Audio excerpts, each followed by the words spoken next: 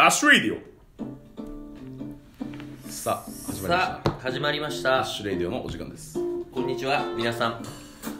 お正月いかがお過ごしですか？そうですね。まあ三が日っていう。そうですね。謎の謎のね3日三。間 みんな大好きな謎の3日間。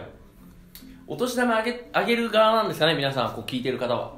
もらもらってる人もいるのかな。どうなんですかね。全員あわよくばもらいたいんじゃないですか。全員あわよくばもらいたいよね。でもお年玉とかっていうのもわけわかんないですけどねあでもやっぱ今年は親戚に会えないとかあるんじゃないですか。あ僕もあって実家にも帰ってないし。あうん。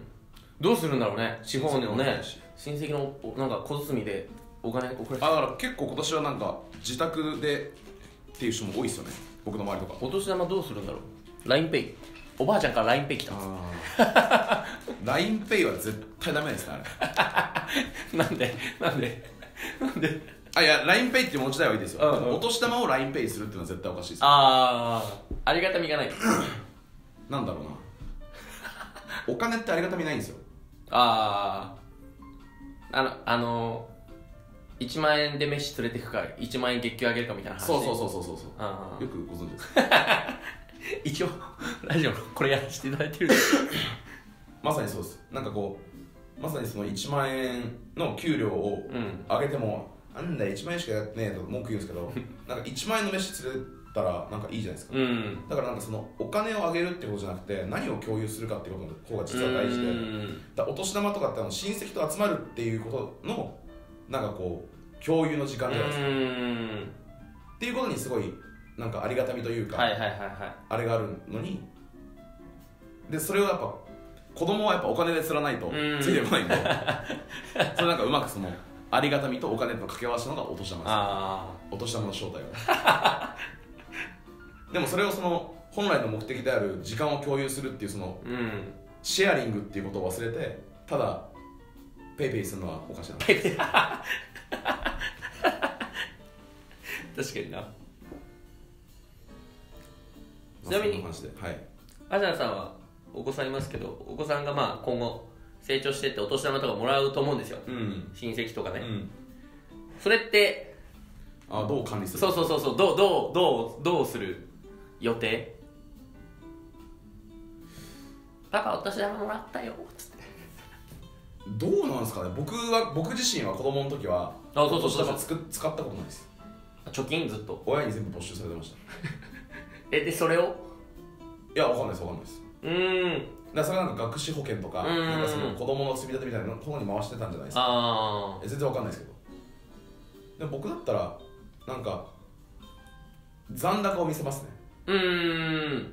その方がいいと思います。あ でなんか好きなものを買いたいって言った時に、ーうん。自分のお金が減るっていうトレードオフうん。うん。うん。をちゃんと学ばせてあげたいですけどね。あだからなんか好きなものでこれ欲しいこれ欲しいって子供が言った時になんか買ってあげないっていうのも違うと思うし、うん。買ってあげるってのも違うと思うんですよ。その自分が得ることによって何が失われるのかっていうことをちゃんとーはいはいはい。選択させるっていう、うん。すごい上ですね。それが一番いいんじゃないですか。幼少期にトレードオフを学ばせる。絶対トレードオフですよ。いやそれはすげえ思いますうーん。だってやっぱ多くの大人を見るとなんだろうただでもらえるならもらうけど、うん。払うんだったらもらわないって人うん。めっちゃいません、無料が好きじゃないですか、それはでいいいいことなんですよ。大衆心理としては、でもあの立派なビジネスマンになれないですよ。ねうーん。って思ってそれはなんでそのトレードオフが理解できてないかはい。あその仕組みを理解できてないじゃないですか。あうーんなんで無料なのか分かんないけど、うんうん。もらいに行くだけなの。うんうんうんうんうんうん。ああそうでもなんか僕がプレゼントいらないってなったんですよ子供の頃。うんうん。この小さい時って何歳ぐらい小学校12年生ぐらいまでは僕の記憶だとなんか買ってあげるよっていうのを言われるのが結構嬉しくて。うんうん。でもいつからか小学校多分34年生ぐらいからうん。なんか買ってあげるって言われてもいや特に欲しいものなんかいらないっていう感じでしあたなかなかドライな言葉でしたけど。あ 当時から物欲なかったの？いや物欲なかったですね。だからなんかそのじゃあはいクリスマスだからはい誕生日だから欲しいものうんうん。っていうのがうん。僕はすごく嫌だったんですよ。なんか欲しいものってクリスマスだから欲しくなるわけじゃなくて、うんうんうんうん。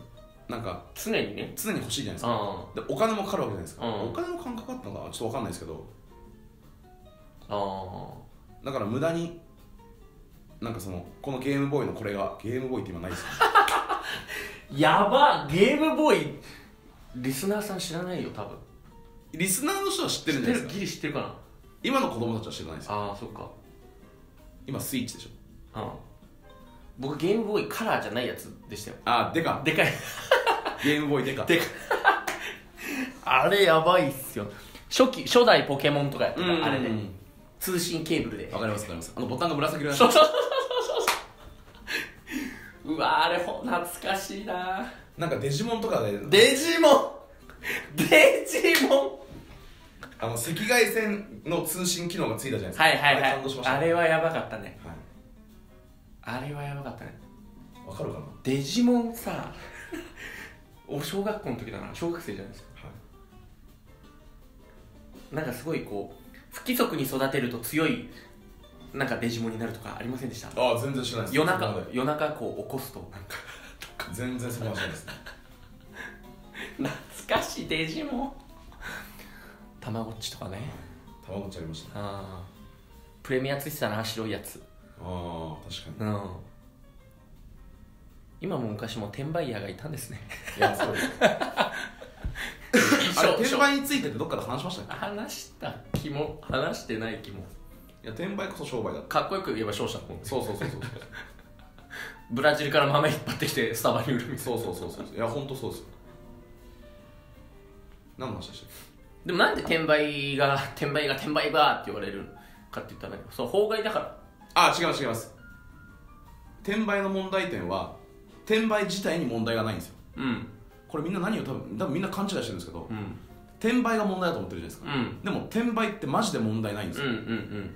商売の基本だしね。はい。うん。何が問題かっていうと消費者がバカなのが問題なんですよ。でああれは消費者庁っていうのは取り締まるあうんってると多分日うん本は思うんですけど、ああそか。そうう消費者庁が消費者の皆さんあなたたちバカですよっていう。だから あの転売でなんかあの100円で買えるやつを1万円とかで売ってますよ。1万円で買わないでくださいよって言ってるんですけど聞かないんですよ。はいはい。消費者バカすぎて本当に。はいはいはい。だからあの転売してる方を取り締まるっていう。ああのネズミ講と一緒です。うん。ネズミ講っていうビジネスモデル自体は悪くないんですけど、うんうんうんそれに騙されてあの自分の友達とかにいらないものを売りつけたりするやつが出てくるから、あうんうん。いやお前らバカじゃないか。信頼が大事だぞって消費者庁が言っても消費者がバカなんて気づかないからネズミ講のその大元の方を取り締まるんですよ。うん。これあんまこういうのやっちゃダメですよっていう話です、あでやるんだったらあの必ずその消費者なんとか法に基づいて、うんうん。これはネズミ講ですよ、うん。マルチのあのうんうん。枠に入ってますよって話をしてから販売してくださいねっていうことなんですよね、あああそういうことだ。そう。だってなんか任天堂スイッチとかもまさにそれこそ、うんなんか高いんですよね。高い高い。普段いくらぐらいなんですかね？2万3 1万ぐらい。3万うんちょいぐらい。それが10万ぐらいで売られるんですか？いやそこまではいかないでも多分5万とかじゃないですか。えだったら全然よくないですか？でもまあ消費者からしたらそう2万も高いじゃないかっていう。えだったら買うなって話じゃないですか。でも売ってないから普通の値段。でも5万にしたら買うわけじゃないですか、うん。それって需要と供給のもう経済げ経済原理じゃないですか。ああ「鬼滅の刃」全巻とかもそうっすね。あそうそう。だから欲しい人がいて、いうん。や僕はそれ定価がじゃあ全部全巻でじゃあ5万だとするじゃないですか、う5万ぐらいですかいくらですか？いや定価全部で多分1万ちょいいやす1万1万ぐらいじゃないですか。あ1万。それを多分1万5千とかで売ってる。え全然いいじゃないですか もうそんな需要と供給じゃん。買ってきた手数料みたいなもんだもんね、はい。その売る人がね、はい。何のそれ10万で売っても問題ない。水利商事がブラジルに行って豆買ってくるようなもん。そうそうそうそうそう。何の問題もないですよ本当に。で高いところなら買わなければいいってそういうことです。そういうことです。これなかなかおかしいな。ちょっとじゃあ質問にも行かせていただこうかなと思って。まだありますか？新年さん 新年早々。新年早々いいただいてる質問が結構ありました行きましょう。えーえー私は、えー20代半ばの男なのですが。20代半ばの男。25歳ぐらい。最近かなり涙腺、えー涙もろくなってます。はいはい。例えば何かに一生懸命頑張ってる人を見たりテレビのドキュメンタリーで病気と戦っている人を見たりすると涙が溢れてきます男なのであたあまり人前で涙を見せたくないのですがアシナさんは涙もろくなったと感じることはありますか？どういった感情の時に涙を流しますか？アシナさん強くて男前のイメージなので涙を他人の前で見せることはしないのかなと思っています。よろしくお願いします。ああ涙もろくなりましたね。年取ると涙もろくなるって言わない？なぜでしょう？なぜだ？共感できることが増えるからなんですあなんか若い時って全部が全てが主観じゃないですか、ーうん。もう客観っていう感覚がなくてもう遊びたいから遊んでるし、うんうん。走り回ってたらなんか自分が走ってることしか知らないんですよ、はいはいはい。トラックが突っ込んでくることもうんうん。予測できないわけです。よ、ぐらいやっぱ大人になってくるとあこの人はこう考えてるかもしれないとか、うんうん。自分の人生経験を通じていろんな人に感情移入とか共感ができるようになるわけですよ。はいはいはいはいでそれの多くはやっぱりできなかったことができできるようになるっていうことに、うんうん。やっぱ人は 自分自身もすごく嬉しいし、他人のそれを見るとすごい共感をして、うんうん。すごい感動するんですよ、うんうんなんか子供が立てるようになるぐらいうんの話ですよ、うーん。だから駄菓子屋のおじいちゃんが頑張ってるところを見るだけでなんかちょっと涙もろくなりません？ちょっといろんな背景を想像しちゃうもんそうそうそうそう。それが想像できるようになるからうん。ああそういうことかでやっぱ大人になってくるとうわなんか駄菓子屋のおじいちゃんがなんかこんな子供に優しくしてるのに、うん。なんか不動産会社に立ち退き命令をされてなんかちょっと早く出てってくださいよ。いつまでこんな商売してんだよ。くだらねえなとかって言われてないかなとか なんかそういうのも乗り越えたりとかしてるのかなとか、なんかやっぱ大人になるとそういろんなこう背景が分かってくるじゃないですか。ちゃうね。で万引きをあのする子供がいて、うん。なんかその万引きする子供をなんかこう何も言えずに黙って見てるおじいちゃん。うんうんうん。もうそれだけで涙が出ます そうね。で小学生の子供から舐められるうん。おじいちゃ おじいちゃん。んなんとかしてあげてっおじいちゃんなんとかしてあげたいね。ていうことです。うん。はだから、いはあの成長人間が成長して共感できるようになったっていうすいうごくいいいいん。いいんじゃないですか？うん。涙が出るようになるちなみに橋田さんは他人の前で涙を見せることはありますかっていうどうですか？僕は泣いてることあります。いや。そんなないですよね。ない気がする。でもなんかいろいろ多分泣いてますよ。あの会社のオープニングビデオとかも泣いてるし。うーん。あのクリスマス感謝祭の海星のスピーチとかも泣いてるし。あ そうなんだ。でもなんかそれをなんだ 別に「えみえ泣いてません僕」みたいな「ほらほらほら涙涙」みたいな。そういうあれはしないんで泣いてることに気づかないっていうことの方が正しいんじゃないですか。映画館だとかでも泣くし。あやっぱ映画館で気づかないじゃないですか。泣いてるうん。自分が泣いてる時隣のやつ見ないし別うに、あ隣の人も泣いてる。あ隣の隣の人も泣いてます。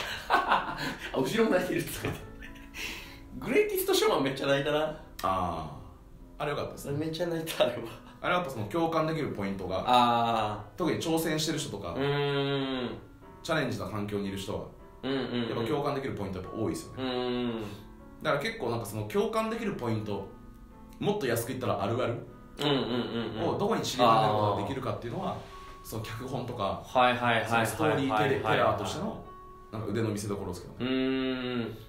じゃあ変な話読み物まあ本とかもうん。あるあるが結構散りばめられてた方がこそうそうまああるあるっていうとまあなんうまあか共感？あれですけどそうですね共感できる共感できるる方がこういなんかひ広まっていくというか。そうそうそうそうそう。口コミも広がって小説とかであ書く時も吉岡君はいつもストライプのブルーとホワイトのストライプを着てるまるでローソンの店員みたいなみたいな話をした方が あの読み手は想像が膨らんで共感できるじゃないですか。共感っていうかなんだろう。わかる？感情移入がそうそうそうそううんローソンっていうストーリーの作り方をした方がうん。なんかこう広がりますうよん。わかりわかりやすいというか、まあ、感動しやすいというか。はいはいはいはいはいはい。うんうん。今